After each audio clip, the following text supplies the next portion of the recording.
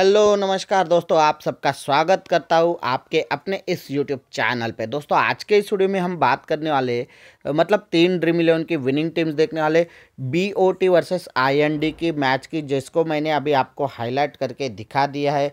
जैसे कि आप देख पा रहे इन दोनों के बीच लगातार दो मैचेस है कुछ ही घंटों के अंतर से। लेकिन हम ये वीडियो दोनों मैचेस के लिए दोस्तों, और पहली टीम पर, पहले मैच पर हम क्लिक करेंगे। उससे पहले मैं आपको एक चीज़ ज़रूर बताना चाहूँगा दोस्तों कि मैंने कल जो एक वीडियो बनाया था जिसकी टीम्स काफ़ी ज़बरदस्त प्रेडिक्शन गए दोस्तों, मैं ज़रूर आपको बताना चाहूँगा। देख सकते सबसे पहले मैं आपको बीच वाली टीम दिखा देता हूँ, जैसे कि आप देख पा रहे यहाँ पे देख सकते कितने प्लेयर है ग्रैंड ड्रीम टीम में खेले हैं दोस्तों, और काफ़ी ज़बरदस्त टीम पड़ी है। और साथ ही साथ दोस्तों पॉइंट भी 708 है। दूसरी टीम की बात करें तो जो लास्ट वाली टीम थी, उसके भी पॉइंट काफ़ी ज़बरदस्त है। और देख सकते हैं कितने प्लेयर यहाँ पे भी ग्रैंड ड्रीम टीम में है। यानी कुल मिला के हमारा काफ़ी ज़बरदस्त प्रडिक्शन गया है। तीसरी वाली टीम के थोड़े पॉइंट मतलब थोड़े ही कम है, ज़्यादा कम तो नहीं। लेकिन ज़्यादा टाइम पास नहीं करना है मुझे, इसलिए मैं वो टीम नहीं दिखाऊँगा। तो सीधे अभी हम चलते हैं आज की जो हम इस वीडियो को बार, बात करें उसके पहली मैच पर हमें क्लिक कर लेनी है। अगर आपने अब तक टीम नहीं बनाई है तो कोई बात नहीं क्रिएटर टीम पर क्लिक कीजिए, यहाँ पे नीचे ऑप्शन दिख रहा है आपको वहाँ पे क्लिक करनी है। उसके बाद आप टीम बनाना शुरू कर सकते हैं। लेकिन मैं ऑलरेडी टीम टीम यहाँ पे बना के रख चुका हूँ। जिसे एक एक करके मैं आपको एडिट करके दिखाता जाऊँगा किस किस को लेना है किसको नहीं लेना है कैप्टन और वाइस कैप्टन किसे बना सकते हैं। ये सब बातें भी मैं आपको बताऊँगा और कुछ स्टैट्स भी आपको समझा, समझाने की कोशिश करूँगा।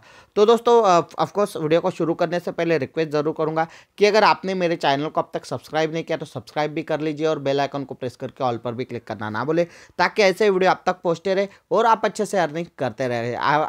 आई होप कल आप सबने काफ़ी अच्छी अर्निंग की होगी, लेकिन मुझे कमेंट ज़रूर डालते रहिएगा दोस्तों कि क्या आपने अच्छी खासी क्या अर्निंग की है। चलिए माई टीम पर क्लिक करते और पहली टीम को मैं आपको सीधे प्रीव्यू करके दिखा देता हूँ यहाँ पे। यहाँ पे देख सकते हैं, इस ख्वाजा को मैंने इस टीम में लिया है एज अ विकेट कीपर यहाँ पे दो विकेट कीपर ऐसे हैं, जिनको हम अपनी टीम में शामिल कर सकते हैं। लेकिन हमने अभी जिनका परफॉर्मेंस सबसे ज़्यादा बढ़िया है, उनको लिया है इस ख्वाजा। इसके अलावा दूसरे कीपर को अभी फ़िलहाल तो मैं इस टीम में नहीं लूँगा। अगली दो टीमों में कुछ ना कुछ चेंजेस करने की ज़रूर कोशिश करूँगा। उसके बाद बैटिंग में आपके पास ज़्यादा ऑप्शन नहीं है दोस्तों। एक ही जो ऑप्शन है, सबसे बेस्ट है, वो है जेड महमूद उसके बाद मैंने के पटेल को लिया एम जामवाल को लिया तो तीन बैट्समैन को ऑफकोर्स हमें लेना ही होता है कंपल्शन है ड्रीम इलेवन में। तो इसीलिए तीन बैट्समैन को मैंने ले लिया है। उसके बाद आपको एक बात ज़रूर कहूँगा कि यहाँ पे ऑलराउंडर्स में हमारे पास काफ़ी ज़्यादा ऑप्शन है। पाँच छः छः मेरे ख्याल से ऑप्शन है। लेकिन आप सबको पता है, तीन गेंदबाज और तीन बल्लेबाज लेने के बाद चार ही ऑप्शन बचते हैं। और कंपल्शन है यहाँ पे एक, तीन गेंदबाज लेना, तीन बल्लेबाज लेना, एक कीपर लेना।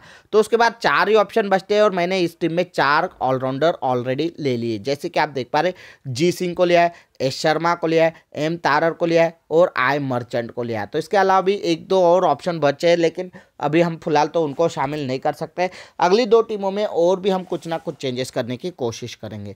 काफ़ी ज़बरदस्त टीम बन रही है। उसके बाद गेंदबाजी की बात करें तो यहाँ पे भी ठीक ठाक ऑप्शन है। एस कुमार को लिया है ओ कुरेशी को लिया, ए खान टू को लिया। तो सभी जो प्लेयर हमने इस टीम में शामिल किया है, सबका परफॉर्मेंस अच्छा है। सभी ने अभी तक काफ़ी बढ़िया बैटिंग बॉलिंग कीपिंग फील्डिंग सभी कुछ अच्छा किया है। तो इस तरह से ये पहली टीम जो है कि सबसे बेस्ट टीम बनी है मेरी ख्याल से। तो इस टीम को ऑफकोर्स आप ग्रैंड लीग के लिए यूज़ करेंगे तो काफ़ी बेहतर है। लेकिन ऐसा नहीं कि आप इसे स्मॉल लीग के लिए यूज़ नहीं कर सकते। जी हाँ दोस्तों स्मॉल लीग के लिए भी यूज़ कर सकते हैं ग्रैंड लीग के लिए भी यूज़ कर सकते हैं, लेकिन लेकिन लेकिन लेकिन, जी हाँ दोस्तों, आपको इस टीम को ग्रैंड लीग के लिए ज़्यादा से ज़्यादा यूज़ करना है। स्मॉल लीग में आपको कम अर्निंग होती है, लेकिन ग्रैंड लीग में अगर सही से टीम बैठ जाती है तो आपको काफ़ी ज़्यादा अर्निंग होती है या फिर आप ग्रैंड लीग भी जीत सकते हैं। तो इसीलिए प्रिफर कर कीजिएगा कि ग्रैंड लीग लगाए और अगर उसके बाद आप लगाना चाहते हैं स्मॉल लीग भी तो कोई प्रॉब्लम नहीं। लेकिन एक ही लीग लगाते हैं आप तो सिर्फ़ ग्रैंड लीग लगाइएगा। अगर बात करें कैप्टन और वाइस कैप्टन की तो ऑफकोर्स मैं पहली टीम में जनता जनार्दन के साथ ही जा रहा हूँ। देख सकते हैं जेड महमूद को काफ़ी ज़्यादा लोगों ने पसंद दी एज अ कैप्टन और वाइस और एम तारर को काफ़ी ज़्यादा लोगों ने एज अ वाइस कैप्टन पसंद दी है तो मैं इन्हीं दोनों के साथ जाने वाला हूँ, क्योंकि दोस्तों, सोचिए अगर ये दोनों सच में फिर से अच्छे सक्सेस हो जाते और हम इनको कप्तान या वाइस कैप्टन नहीं बनाते तो जो भी ये परसेंटेज है, ज़्यादा परसेंटेज उनको फ़ायदा होगा, हमें नहीं होगा, जिसकी वजह से इस तरह से करना ज़रूरी होता है। इस टीम को काफ़ी बढ़िया बनी है, फिर से कहूँगा ग्रैंड लीग के लिए यूज़ कीजिएगा स्मॉल लीग के लिए भी यूज़ कर सकते हैं। तो इस टीम को क्लोज करते हैं और दूसरी टीम में आपको सीधे प्रिव्यू करके दिखा देता हूँ। जैसे कि आप देख पा रहे कीपिंग में मैंने चेंज कर लिया है, जैसे कि आपको ऑलरेडी बता चुका था कि दो ऑप्शन है यहाँ पे, और ये दूसरा वाला ऑप्शन है ए घोष। इनका भी परफॉर्मेंस अच्छा रहा है। हाँ पहले वाले प्लेयर से अच्छा बढ़िया नहीं रहा है, लेकिन अच्छा ऑप्शन अच्छा परफॉर्मेंस रहा है। ज़रूर आप इनको एक टीम में तो कम, एक एक टीम में नहीं, बल्कि अगर ज़्यादा टीमों में भी लेना चाहे तो ले सकते हैं।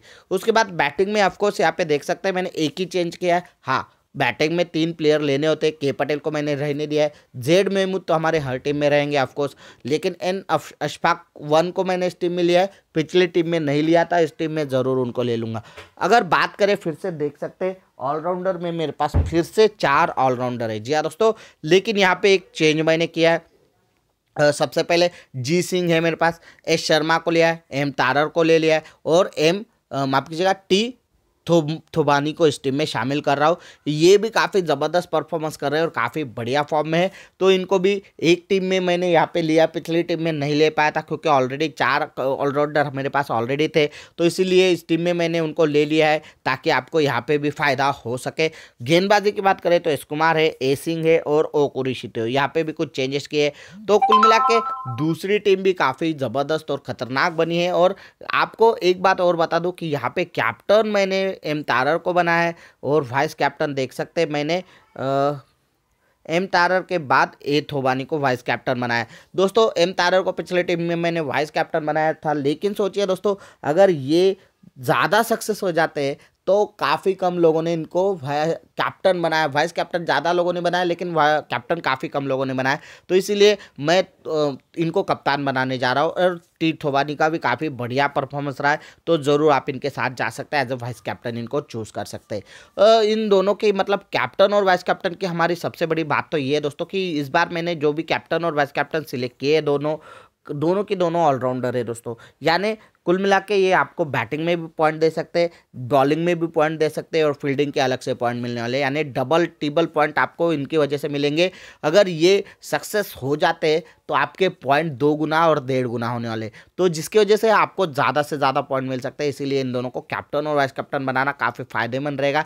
आप इनकी वजह से ग्रैंड लीग जीत सकते हैं, अच्छी खासी अर्निंग तो ज़रूर कर सकते हैं। ऑफकोर्स इस टीम को मैं ज़रूर कहूँगा कि ग्रैंड लीग के लिए यूज़ कीजिएगा स्मॉल लीग के लिए भी यूज़ कर सकते हैं, लेकिन ग्रैंड लीग के लिए ज़्यादा बेटर रहेगी ये भी टीम। और ऑफकोर्स मेरी तीनों टीमें मैं इसी तरह से बनाता हूँ, क्योंकि ग्रैंड लीग में अगर आप तीनों टीमें लगाते हैं तो आपको कुछ ना कुछ अर्निंग अच्छी होगी या फिर एक आध टीम मेरी ग्रैंड लीग जीत सकती है। तो इसीलिए इस टीम को भी ग्रैंड लीग के लिए ज़्यादा से ज़्यादा प्रेफर कीजिएगा। लेकिन अगर आप दोनों लीग भी लगाते हैं, एक ग्रैंड लीग और एक स्मॉल लीग भी तो भी कोई प्रॉब्लम नहीं है। या फिर आप स्मॉल लीग बिल्कुल मतलब अगर लगानी एक ही लीग तो स्मॉल लीग मत लगाइएगा ग्रैंड लीग लगाइएगा, लेकिन मल्टीपल लीग लगाते हैं तो एक ग्रैंड लीग और एक स्मॉल लीग भी ज़रूर लगा सकते हैं। तो कुल मिला के ये भी टीम अच्छी बन चुकी है क्लोज कर लेते हैं, और तीसरी टीम वो भी काफ़ी बेहतर बनी है दोस्तों।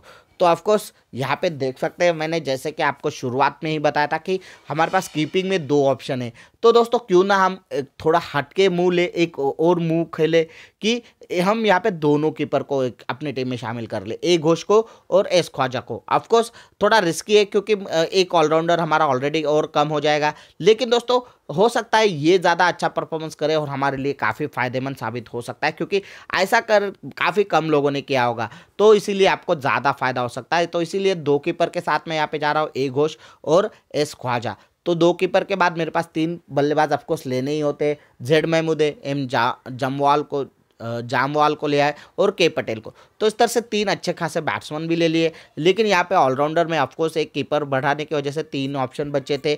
तो मैंने यहाँ पे थोड़े हटके लिए। यहाँ पर एम तारर को लिया है आई मर्चेंट को लिया टी थोबानी को लिया। तो इस तरह से ये तीन मतलब एक टीम में मैंने अभी तक दोनों, पिछले दोनों टीमों में भी नहीं ले पाया था। साथ में नहीं ले पाया था। तो अलग अलग दोनों टीमों में उन दोनों को, तीनों को लिया है मैंने। लेकिन साथ में नहीं ले पाया था। गेंदबाजी की बात करें तो इस कुमार है। ओ कुरेशी है और ए खान टू है वन है। तो इस तरह से ये भी तीन अच्छे खासे गेंदबाज है। विकटें ले सकते हैं, आपको फ़ायदा करा के दे सकते हैं। तो कुल मिला के ज़बरदस्त टीम बनी है दोस्तों, और मुझे तो आपको ज़रूर कहूँगा कि इस टीम को सिर्फ़ और सिर्फ़ ग्रैंड लीग के लिए यूज़ कीजिएगा, स्मॉल लीग के लिए मत यूज़ कीजिएगा। थोड़ी रिस्की टीम साबित हो सकती है स्मॉल लीग के लिए, लेकिन ग्रैंड लीग के लिए थोड़ा रिस्क लेंगे तो ज़्यादा चांसेस रहते हैं जीतने के। तो इसीलिए स्मॉल लीग के लिए आप अपने हिसाब से, आपको लगानी है तो लगा सकते हैं, लेकिन मैं इस टीम को गारंटी से कहूँगा कि ग्रैंड लीग के ज़रूर ग्रैंड लीग के लिए ज़रूर लगाइएगा क्योंकि काफ़ी बेहतर टीम बनी है। ऑफकोर्स अगर बात करें कैप्टन और वाइस कैप्टन की तो यहाँ पर मैंने थोड़ा रिस्की फिर से यहाँ पे कहूँगा रिस्क लिया है। इन दोनों ने परफॉर्मेंस तो काफ़ी बढ़िया किया है। आई मर्चेंट को कैप्टन बना रहा हूँ एस ख्वाजा को वाइस कैप्टन बनाया पर इन दोनों का परफॉर्मेंस की बात कर रहा था, था कि बढ़िया परफॉर्मेंस रहा है दोनों का काफ़ी अच्छा परफॉर्मेंस रहा है।